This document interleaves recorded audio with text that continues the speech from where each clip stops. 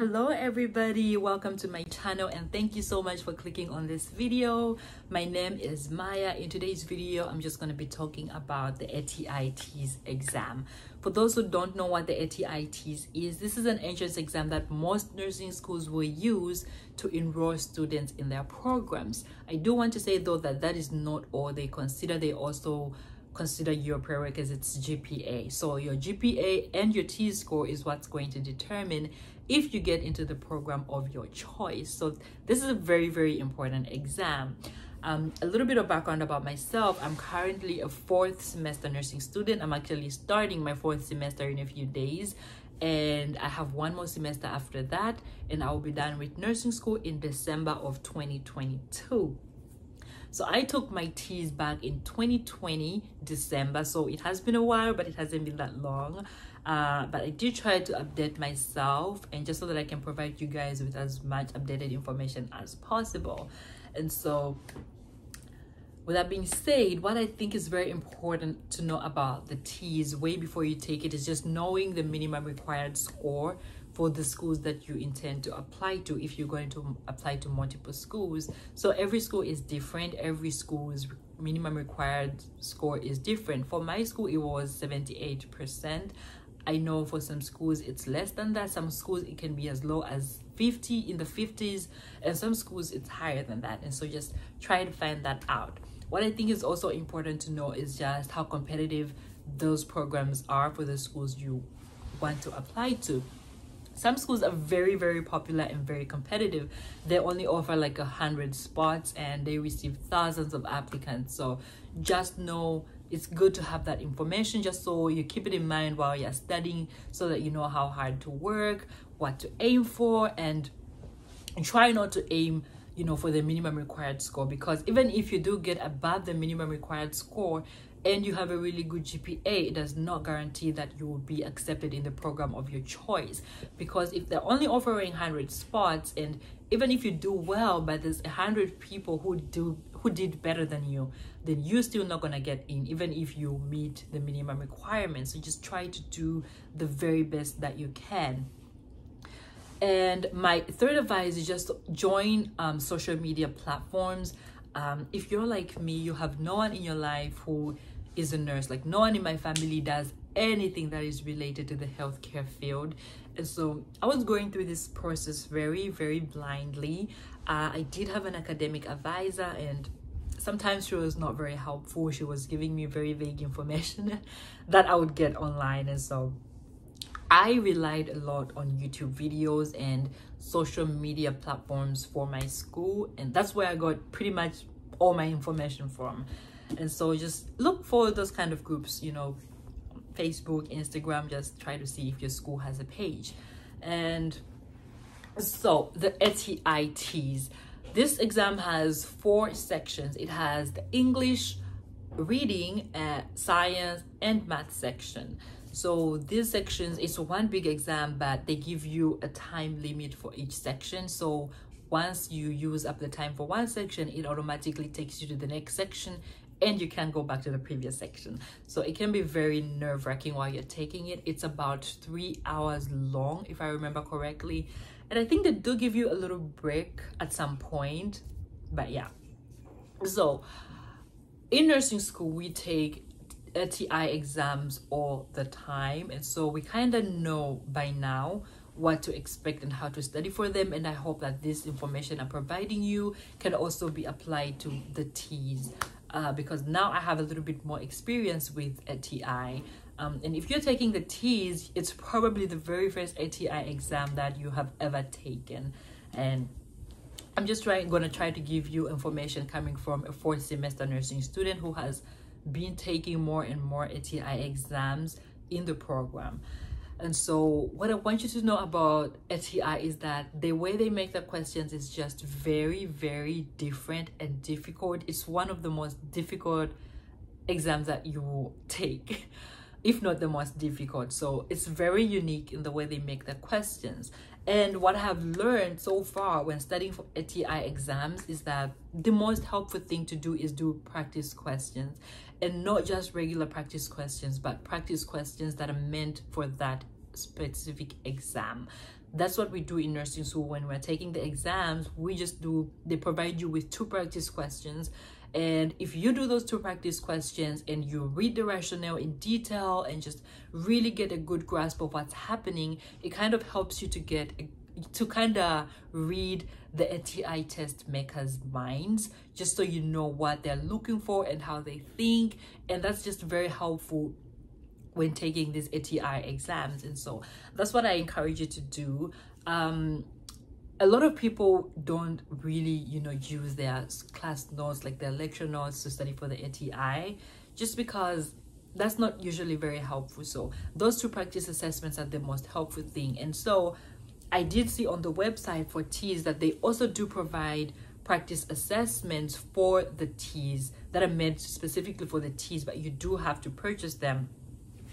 I was looking at their website. I'm just going to look up my iPad and they do have different packages to study um so i see there is a comprehensive study package. Uh this is probably best for people who have um you know you've, you've been in out of school for a while and you want something a little bit more detailed to prepare and uh, like a refresher a more detailed refreshment of what you learned a while ago.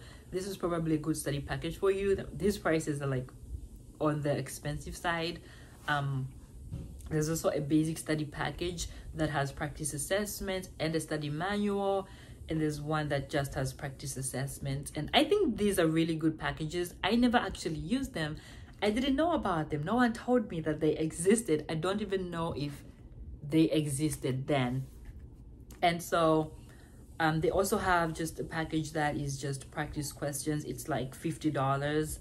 And they also have a study manual that's just $25. So that's that's not so bad um, and so i think it's a very good investment to make when i studied i used this book right here um, this is ATIT's Mometrix book. I also bought this one, but I didn't use this one much. I just used this one because I only had two weeks to study for the TEAS from the time I was done with my prerequisites. So I used this one, but I didn't even use it that much. I did not study for the TEAS as much as I should have and therefore I did not do as well as I hoped to. And so, as you can see, it kind of looks new, right? Like like no one has even used it. but yes, um, and if you watch a lot of YouTube videos, you will see that a lot of people will recommend this book. But my number one recommendation, apart from that book, would be these packages that they have and they have multiple options here that and you can just suit whichever one best suits your needs um, personally if i knew about this i would have picked the online assessment online practice assessments. They give you two uh, practice assessment exams and also i would have maybe bought the study manual which is $25 i think that's a really good combination to have um like that's the best bet is using ATI resources to study for ATI I think is the best idea. And I know that they're a little bit pricey but it's a good investment because if you don't do well on your TEAS or even if you do get the minimum required score but you're still not getting in the program you want you might want to retake it just to have a higher score to give yourself a better chance. But if you keep on retaking it you keep on spending more and more money so i feel like it's a good idea on your first try to just try to invest in a really good product that gives you a really good chance of doing well on the exam. And so yeah.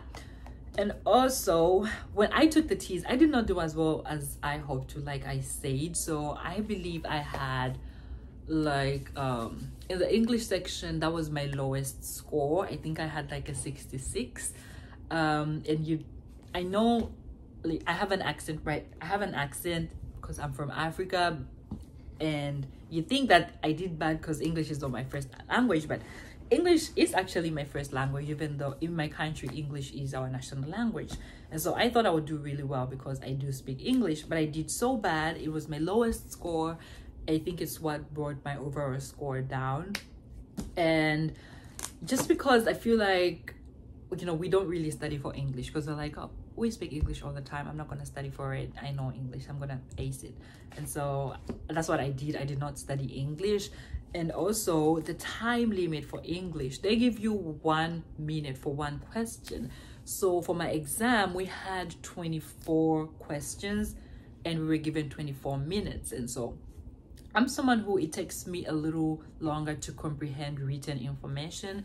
I have to read a question like four or five times before I fully understand what they're talking about and so it takes me time so being put in that kind of situation i it just gave me test anxiety and i was freaking out and i just tried to go through it really fast and hence i did not do as well as i had hoped and so yeah and for the math section i got a 75 percent.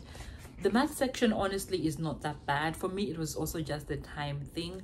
Um if you did really well in college algebra that's pretty much all there is to it. It's just basic algebra and you know some high school math. It's nothing that's too difficult or complex.